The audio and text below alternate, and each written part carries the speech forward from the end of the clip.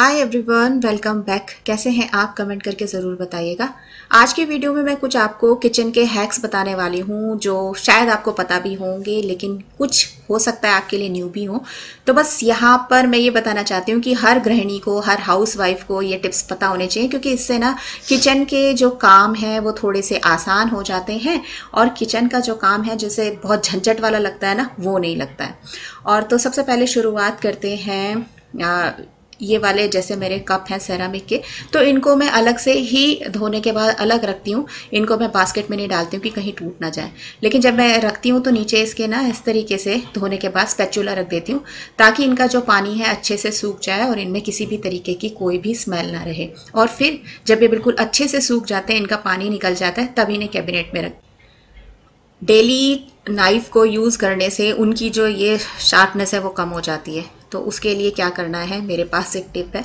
बहुत पुराना टिप है, मैं अपनी मम्मी को भी करते देखा करती थी। तो ये इस तरीके के जो स्टोन्स होते हैं, पत्थर जो आपको रोड साइड पे आराम से मिल जाएँगे तो मेरे पास तो ऐसे काफ़ी सारे हैं। तो इस पर मैं ना इसकी इसको ऐसे घिस लेती हूँ। तो इसकी जो शार्पनेस है, वो फिर से पहले जैसी ही हो जाती है। और नहीं, अगर आपके पास ये स्टोन अवेलेबल नहीं है तो घर में आपके ब्रिक तो होगी, जिससे घर बनाते हैं। घर बनाने में जो यूज़ होती हैं ब्रिक्स तो आप उस पर भी इस तरीके से इसको रगड़ सकते हैं। तो आपके जो नाइफ़ की जो शार्पनेस है, फिर से पहले जैसी ही हो जाएगी। तो बहुत ही काम का टिप है। और एक बार ज़रूर आजमा के देखिएगा। और इसको केयर का जो तरीका है, इसकी शार्पनेस जल्दी ख़राब ना हो तो यूज़ करने के बाद ना चाकू को हमेशा पानी से अच्छे से धोने के बाद फिर इसे कपड़े से सुखा के रखें, ताकि जो इसकी शार्पनेस है, वो काफ़ी दिनों तक बरकरार रहे। जल्दी जल्दी ये जो नाइस हैं, ये ख़राब ना हो। इसके बाद जैसे सीज़र्स है सीज़र्स की भी क्या होता है कि हम इसे, इन्हें लगातार यूज़ करते हैं तो इनकी भी जो शार्पनेस है वो थोड़ी थोड़ी कुछ दिनों बाद ख़राब होने लग जाती है।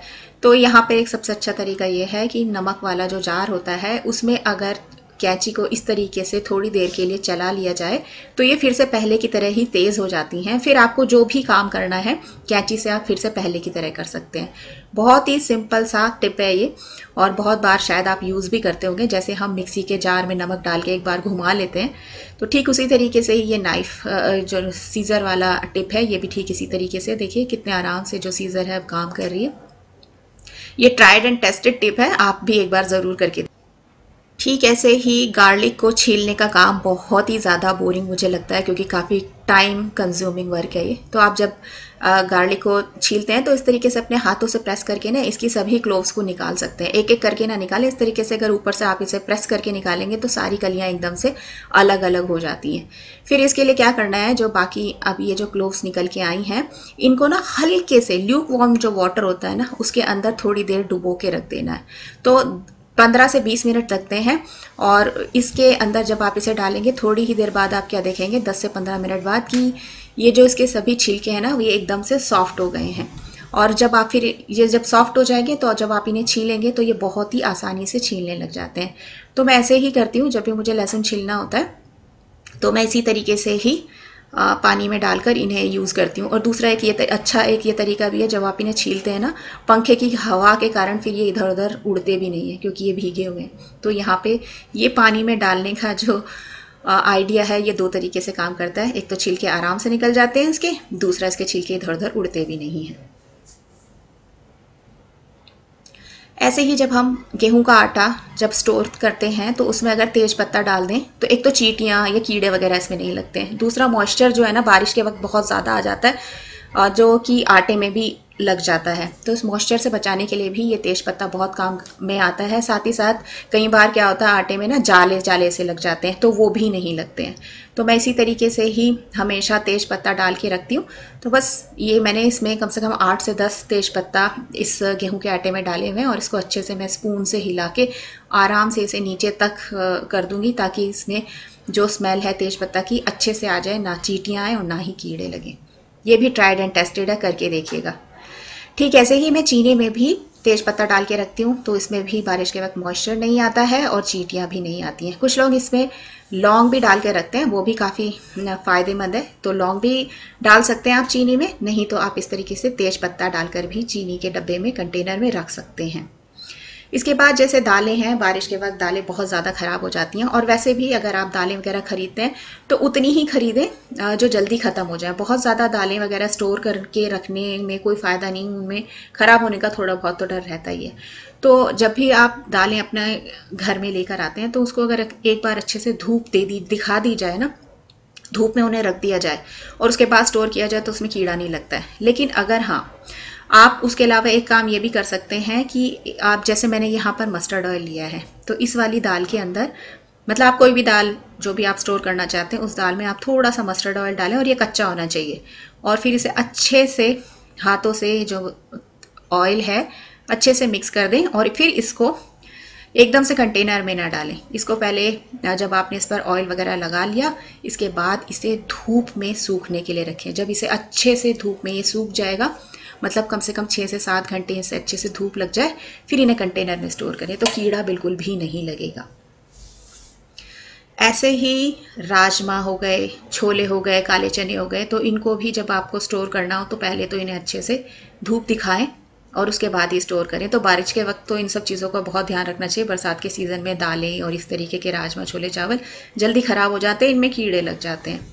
तो अच्छे से धूप जब मैंने इनको इनको दिखा देती हूँ उसके बाद ये मैंने जैसे एक कॉटन का कपड़ा लिया है आ, इसके अंदर मैं थोड़ा सा जो कसूरी मेथी होती है वो डाल दूँगी।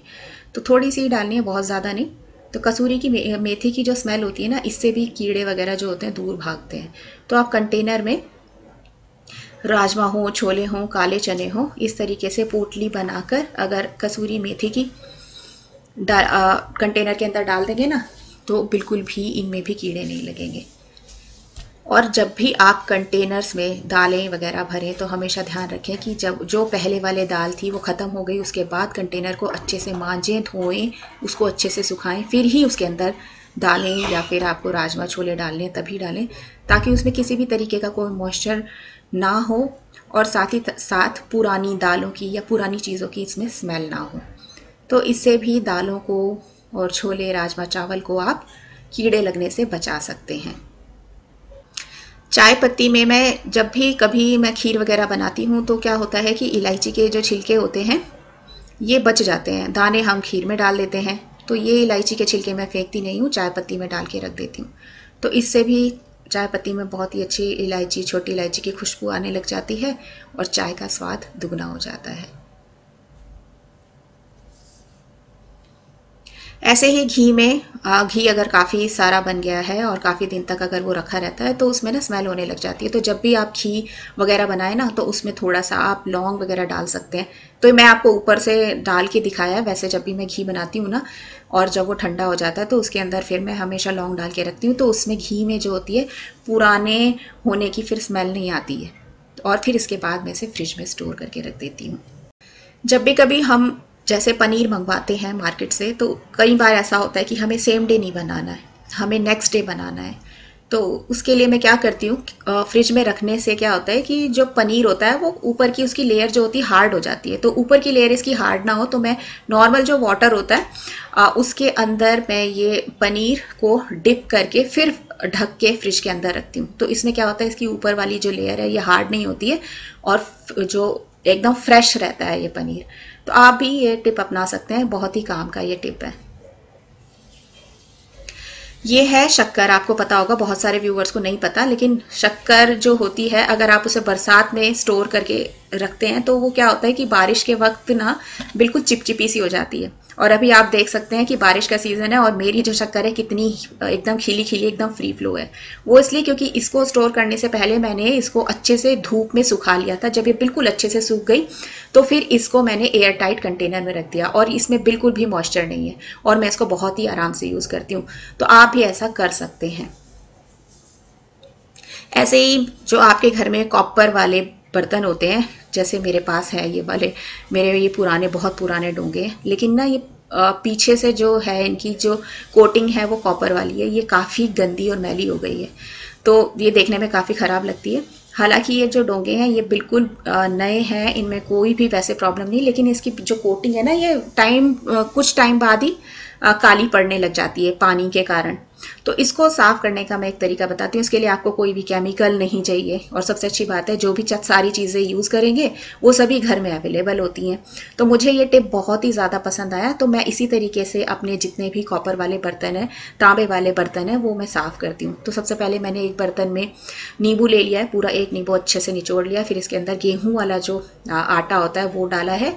और फिर मैं इसके अंदर डालूँगी नमक। अपनी जितनी आपको ज़रूरत है उस हिसाब से इसमें डालेगा। हल्का सा मैंने इसमें पानी मिलाया है। एक पेस्ट सा बना लेना है। अभी थोड़ा ये मुझे पतला लग रहा है। मैं इसमें थोड़ा सा आटा जो है, गेहूँ वाला, वो और मिलाऊँगी। बस ये जो है, आपका पेस्ट बनके तैयार हो गया। और इससे अब आप जितने भी आपके कॉपर के या फिर तांबे वाले बर्तन भी हैं ना, वो साफ़ कर सकते हैं। देखिए, मैं इस पर लगाया ही है। अब कितनी कम मेहनत में ही ये क्लीन होने लग रहा है। और बिल्कुल भी इस पर मुझे कोई ज़्यादा मेहनत नहीं करनी पड़ी। और ऐसे ही थोड़ी देर रगड़ने के बाद ये बिल्कुल साफ़ हो गया, इसका रंग ही बदल गया। तो इसी तरीके से आप भी अपने जो तांबे वगैरह वाले बर्तन हैं, वो साफ़ कर सकते हैं। उनमें पहले जैसी ही चमक आ जाएगी और वो बिल्कुल नए हो जाएँगे। तो थोड़ा सा हाथों से ही रगड़ने, मुझे कोई स्क्रबर की ज़रूरत नहीं पड़ी, किसी भी चीज़ की ज़रूरत नहीं पड़ी और एकदम से ये क्लीन हो गए। बस इसके बाद इसे पानी से धोने के बाद मैं आपको दिखाऊँगी। देखिए, कितनी ज़्यादा शाइन इसके अंदर आ गई है। कोई किसी भी चीज़ की, किसी भी केमिकल की ज़रूरत नहीं पड़ी और मेरे डोंगे पहले जैसे हो गए हैं। तो आप भी ये टिप अपना सकते हैं। बहुत ही काम के टिप हैं और देख सकते हैं मैंने अपने डोंगे और साथ में मेरा चाय वाला जो बर्तन था, उसको भी इसी तरीके से साफ़ कर लिया है। एकदम बिल्कुल नए जैसे हो गए हैं ये। अब मैं जब गेस्ट को खाना वगैरह सर्व करूँगी तो मुझे शर्म नहीं आएगी इन डोंगों में, क्योंकि ये डोंगे अब बिल्कुल पहले जैसे हो गए हैं। तो अगर आपको ये टिप पसंद आए तो प्लीज़ इसे लाइक करना, अपने दोस्तों के साथ शेयर भी करना। छोटे से हैक्स हैं छोटे छोटे टिप्स हैं, कुछ लोगों, आपको पता होंगे, कुछ नए भी होंगे, और कमेंट करके भी बताना आपको ये टिप्स कैसे लगे। मिलूँगी आपको जल्दी नेक्स्ट वीडियो में, तब तक के लिए बाय